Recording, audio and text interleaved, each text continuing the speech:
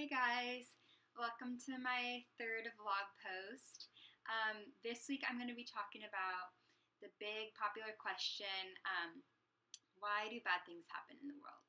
And I thought this would be really appropriate for this week because there's been lots of um, hardships happening right now. Um, you know, the Thousand Oak shooting happened this week, and then um, the fires in California that have caused many people to lose loved ones and even their homes.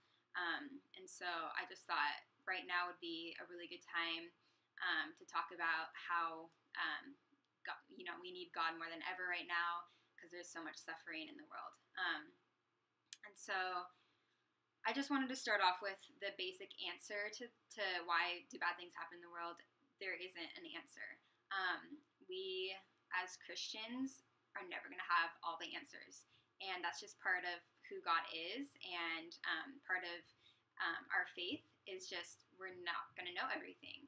Um, and so faith is challenging, and you should be having questions and concerns and um, confusion while you're reading the Bible. And if you don't, then that means you're probably not thinking hard enough about what you're reading.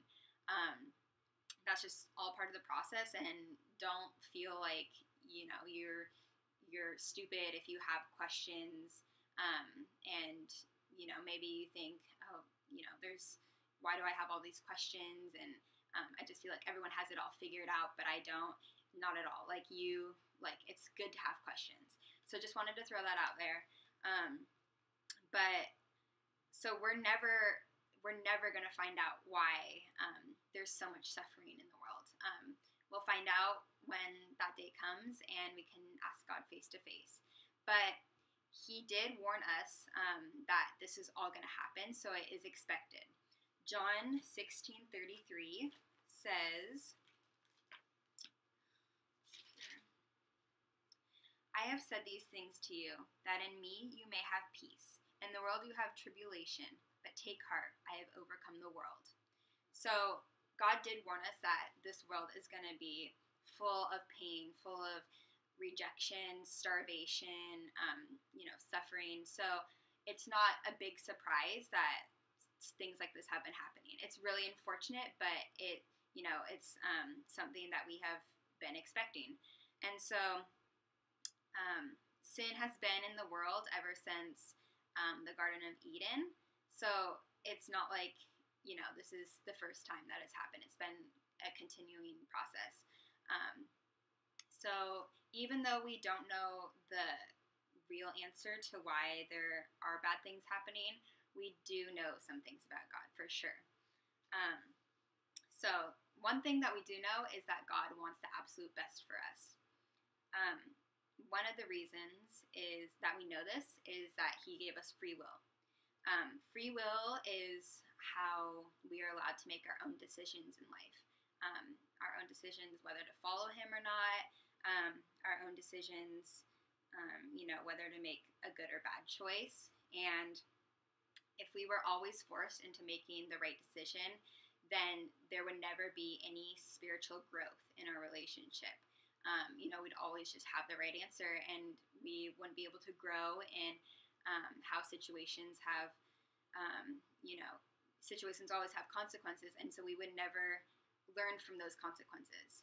So he gave us choices in the world, and um, so you know he never forced us to have a relationship with him. We get to choose. Um, and then uh, the second thing that we do know is that God's always there for us. He's always um, having open arms. So I've talked about this in my last couple of vlogs that, um, you know, you come to Him no matter how you're feeling. And in these, um, in these situations when bad things happen, no matter how you're feeling, um, you're always you're always welcome to go to God. And I feel like I don't know if this is true, but it's possible that God could be putting um, situations like these in the world, um, you know, suffering and tragedy, tragedies, um, and it could be taken as an opportunity to come to Him and to rely on Him and see the good in every situation and see how powerful he can be and how he can make the situation into something you never thought could happen. So, um, he, you know, he's been through all kinds of disasters and all kinds of suffering. So, so he does know what you're going through. Um, so just keep that in mind um, when you do feel like you need to go to somebody to talk to. God's been through it all, and so he's he's always going to be there for you with open arms. So when you're feeling like you need to ask the question to God, um, why God, why did you let this happen? Um, you know, instead pray that he'll be able to help you find that answer. He might not be able to give you the direct answer right away, um, but he'll be able to help you understand um, the circumstances and maybe um, possibly gradually give you an answer to why that happened. So, despite our difficulties and everyday challenges, we still always have hope. And we know that one day we will find out all the answers, and that's when we see Him in heaven.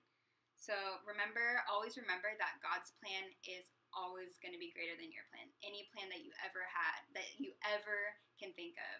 Um, and just remember, John 13 7 says, You do not know what I'm doing now, but later you will. Thanks for watching my third vlog, guys.